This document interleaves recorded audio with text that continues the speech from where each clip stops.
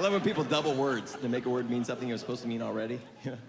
My friend does this all the time, but a little bit too much. I'm like, did you eat yet? And he goes, well, I ate, but I didn't eat, eat. well, that's fair, but they're like, well, then so you're hungry. Well, I'm not really hungry, hungry. It's not that I'm not hungry, I'm just not too, too hungry, you know? I'm on a diet, but it's not like a diet, diet. And I want to have fish, but it's meat. I'm a vegetarian, but it's not really meat, meat, right? right? I'm just not all that hungry per se. I love when people use per se. What they're really saying is, whatever I just said, not even really true. So you're lying. Well, no, it's per se, man.